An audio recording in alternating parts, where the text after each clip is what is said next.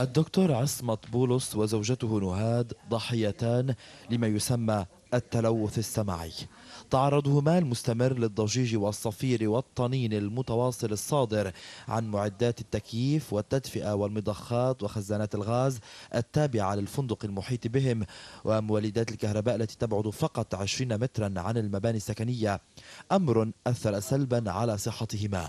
وهذا ما أكده تقرير الطبيب الشرعي الذي رفع إلى الجهات الرسمية لكن دون أن تثمر أي حل. أنا هيدي الأصوات آه، آه، روحت لي آه، يعني قسم كبير من سمعي ما بنام مثلا أنا إنسانة بدي آخذ كم من المهدئات ومن المنومات مش لأنه طالع على بالي اخذهم هن عم بضروني بذات الوقت عم بضروني بس عم بنجبر اخذهم لأنه ما بقدر مضي كل حياتي ما قادرة لا نام بالنهار ولا نام بالليل. الدكتور عصمت شرح لل MTV عن جهاز ال sonomètre أو مقياس مستوى الضجيج. المسموح فيه بالليل 35 ديسيبل. ما حدا بيقدر ينام نوم طبيعي إذا كان بيزيد عن ال 35 ديسيبل بالليل. وبالنهار؟ وبالنهار آه، الضرر ببلش بال 45 ديسيبل. حتى ال 35 متواصل ليل مع نهار بيضر السمع. شو الآثار السلبية إذا الديسيبل تخطى المسموح فيه؟ القلب يصير قطش بيصير عنده آه، nausée بيصير عنده لعيان بيصير عنده وجع راس هل في خطر أنه يفقد الواحد حاسة السمع تبعه مع فترة طويلة؟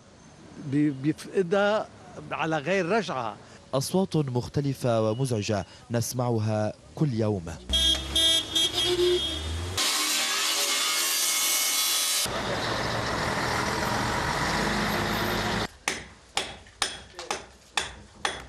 الأم تي في قامت بجولة في أحياء العاصمة وقاست مستوى الضجيج المؤذي والبداية كانت خلال قيادة السيارة.